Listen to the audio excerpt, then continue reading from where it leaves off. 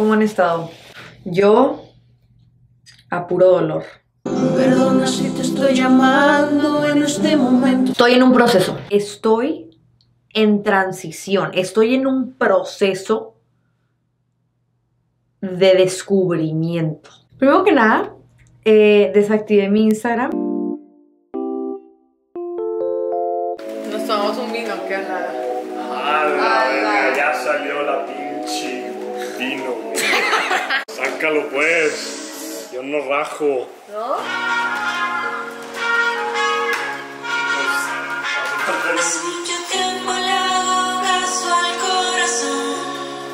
Pero tú me tienes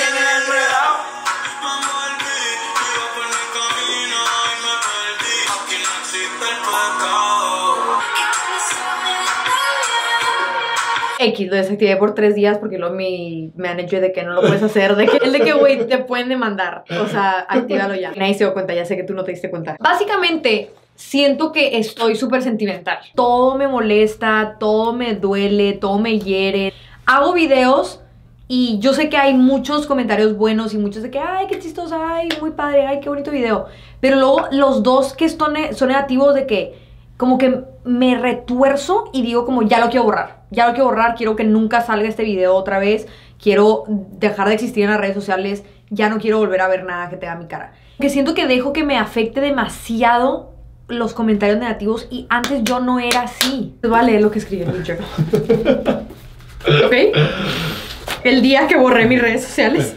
Güey, neta, yo juré, o sea, como que siempre juro de que, que todo lo que está escrito o grabado de mí, como que un día va a salir en un museo. Entonces, como que cuando estoy escribiendo mis journals, como que me imagino a la gente leyendo como, wow, es súper fuerte. Wow. Ok, 8 de marzo del 2024. Desactivé todas mis redes sociales. Genuinamente creo que me... Ay, no, sí está triste esto. Neta me causó un ataque de ansiedad. Genuinamente creo que me causó un, un ataque de pánico un video que subí. Me preocupó que comentarios me hayan causado dificultad de respirar, ansiedad, náuseas. Eso no está bien. Me gustaría tomarme un mes sin redes. Güey, de tres días. No, pero neta, yo sí quería durar un mes sin redes, pero no pude porque de esto vivo. Crear videos sin subirlos a ningún lado, solo para mí. Verlos y preguntarme si me gustan a mí. Y si la respuesta es sí, sentirme conforme. Decidir solita si me gusta o no lo que hago sin tener la aprobación de alguien más. Porque si analizo la situación, el problema no es crear. Eso me encanta, me hace feliz, lo disfruto. El problema es cómo me siento al respecto sobre si le gusta o no le gusta a la gente. Y siento que genuinamente quiero regresar a hacer videos.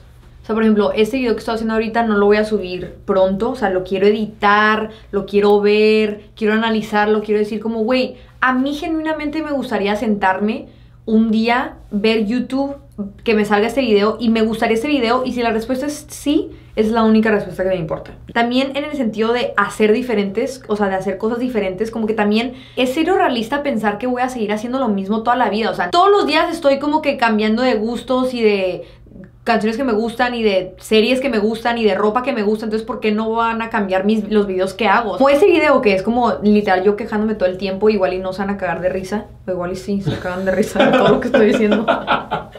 sí quiero darles lo que les gusta, pero lo más importante es darme a mí lo que me gusta. Oh, ¡Hola, madre! güey! Esa línea. Replay that shit.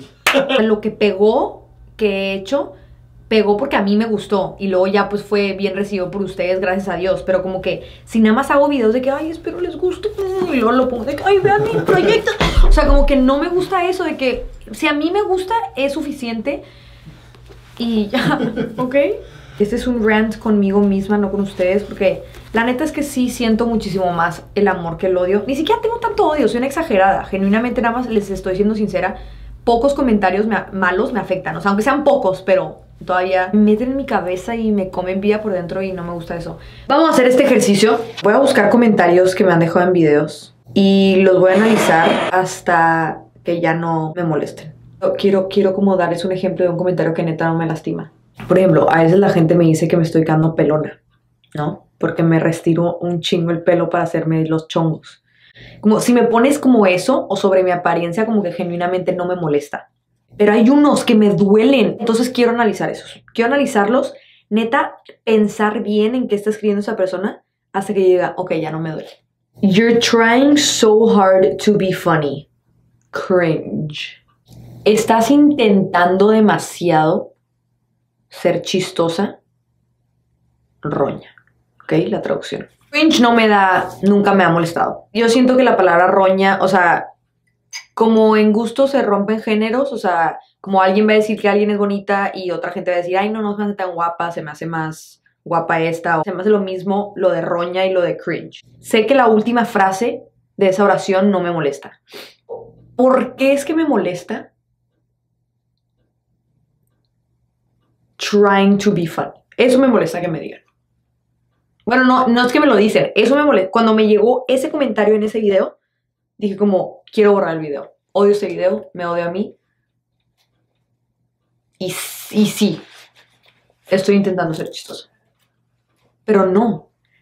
Vamos a analizar esto. ¿Estoy intentando ser chistosa? ¿Qué es intentar ser chistosa? ¿Conozco gente que intenta ser chistosa? Sí, sí las conozco. ¿Me caen mal? Sí. No me caen mal, pero sí, no, no son agradables. O sea, no me gusta juntarme con ellos.